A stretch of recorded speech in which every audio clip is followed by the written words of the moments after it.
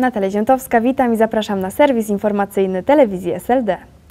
W uroczystości upamiętniającej 70. rocznicę wybuchu II wojny światowej wraz z prezydentem Lechem Kaczyńskim oraz premierem Donaldem Tuskiem uczestniczyli także goście zagraniczni, wśród nich kanclerz Niemiec Angela Merkel oraz premier Rosji Władimir Putin. Jednak przez kilka dni przed uroczystością trwały spory o historię. Czy zatem wystąpienia szefów rządów na Westerplatte spełniły oczekiwania, czy może jednak nie? Jak się okazuje, wizyta Władimira Putina spełniła oczekiwania zarówno SLD, jak i PO.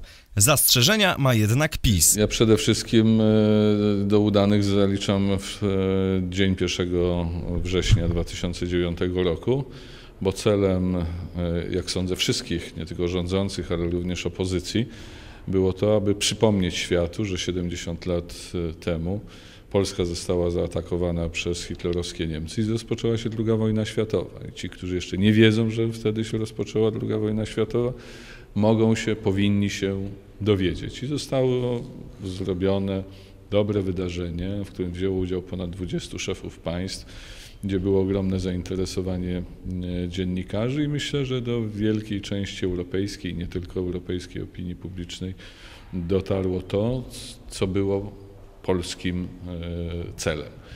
A jednym z elementów była, e, była obecność Władimira Putina. No, gdyby go nie było na, tej, na tym spotkaniu, no to krytycy by powiedzieli, że poziom stosunków polsko-rosyjskich osiągnął poziom zimnej wojny.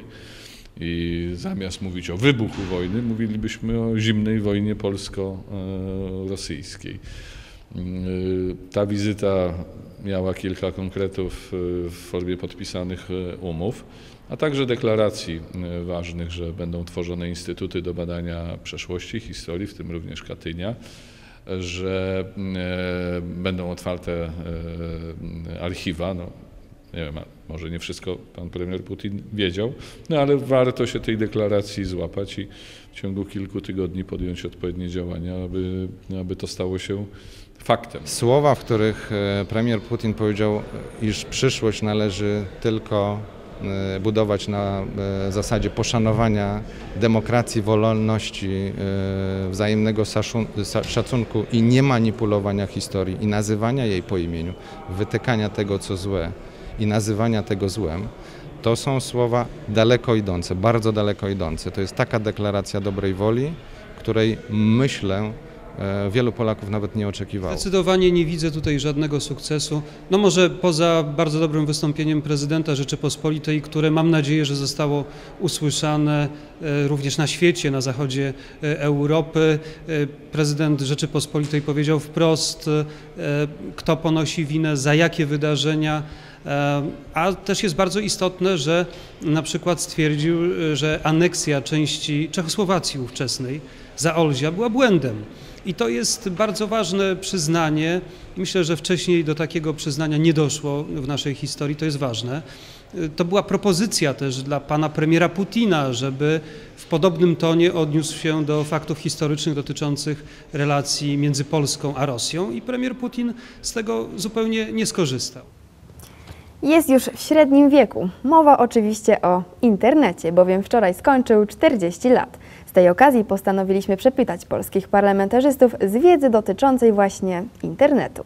Internet to źródło wiedzy, rozrywki, ale także zagrożeń. Jest jednym z głównych środków komunikowania się oraz niewątpliwie znaczącym wynalazkiem w dziejach ludzkości. Wczoraj obchodził swoje urodziny. Jak przypomina IDG.pl, dokładnie 40 lat temu na kalifornijskim uniwersytecie University of California Los Angeles grupa naukowców położyła podwaliny pod internet, łącząc ze sobą komputery i testując nowy sposób wymiany danych. 22 lata później epokowy wynalazek zawitał do naszego kraju. Zatem w związku z urodzinami internetu Kuba Michalak, chcąc sprawdzić wiedzę polityków dotyczącą internetu, przygotował dla nich quiz. Zobaczymy, jak sobie poradzili. Ale jak pan potem wie, założył nawet konto internetowe, także zmienił chyba swoje podejście do internetu. No może to właśnie te 40 lat trzeba było upowszechniać internet, żeby również Jarosław Kaczyński korzystał z internetu ale w związku z tym, że Pan korzysta, to specjalnie dla TV SLD Pan wystąpi w takim krótkim quizie sprawdzającym właśnie jakość wiedzy na, temat, na tematy internetowe. Może, Więc pierwsze pytanie. Może inaczej, może inaczej poziom mojego korzystania z internetu. No, Niech tak będzie, niech tak będzie. W takim razie pierwsze pytanie. Proszę rozszyfrować skrót www. No będzie na pewno Word i, i website, ale co będzie trzecim w? Wide Web, taka szeroka. Web. Tak jest. Także drugie pytanie, bo tu na razie 1-0, pan przegrywa. To tak przypominam. Drugie pytanie, proszę trzy najbardziej popularne w Polsce komunikatory internetowe wymienić. Gadu gadu. Więcej to szczerze mówiąc nie za bardzo znam. No, Nie. Pan korzysta z gadu-gadu? Nie. No to jeszcze tlen na przykład. No i Skype pan pewnie słyszy.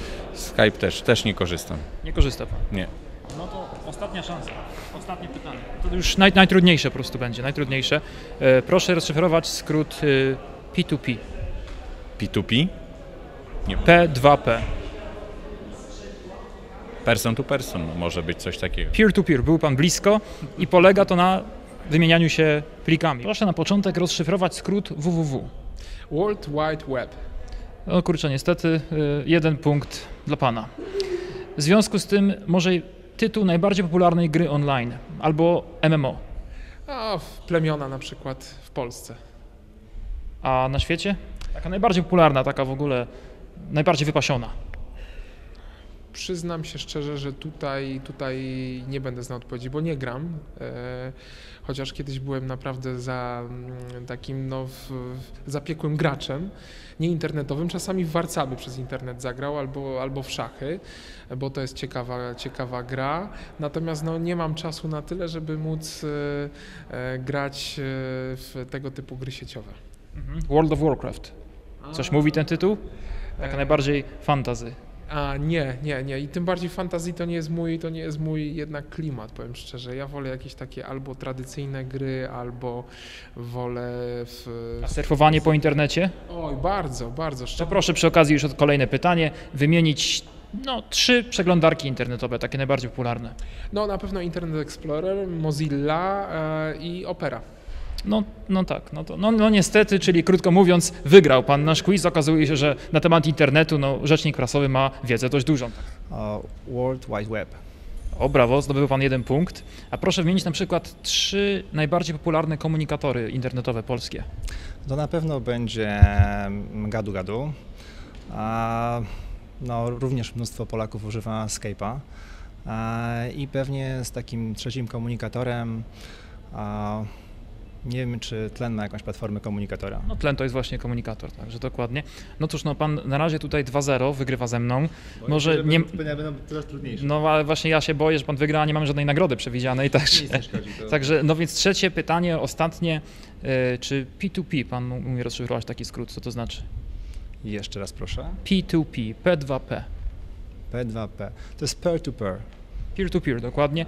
A czy, czy pan e, takich programów używa, typu peer-to-peer? Czyli, że krótko mówiąc, się wymienia Z plikami? tego co wiem, to te programy są zabronione. Polska jest jedynym krajem w Unii Europejskiej, który zanotował wzrost gospodarczy. Premier Donald Tusk właśnie tak podsumował dane dotyczące wzrostu PKB w Polsce. Z danych wynika, że PKB wzrósł w drugim kwartale o 1,1% w porównaniu do tego samego okresu w zeszłym roku. Czy zatem kryzys nadal jest odczuwalny? Zbadał to nasz reporter Kuba Michalak. Rząd pomaga na przykład zwalczając ten kryzys, czy nic nie robi? Tak, pomaga na przykład e, w zakresie właśnie udzielania kredytów e, Szczęśliwa Rodzina, jak- jakiś taki... Rodzina na swoim. Rodzina na swoim, tak. E, Połowę odsetek spłacają. Myślę, że to jest duża pomoc. Ja się akurat nie załapałam, bo wzięłam kredyt wcześniej. Mhm. E, tak, ale na przykład mogłam odliczyć odsetki od kredytu w tym roku, od podatku, no i jest to jakaś pomoc, jakaś ulga. Kryzys według mnie to jest bójda. Y, Amerykanie to wymyślili, żeby po prostu ich system bankowy przetrwał jakoś i żeby mogli w końcu ruszyć coś u siebie. Więc dla mnie kryzysu nie ma.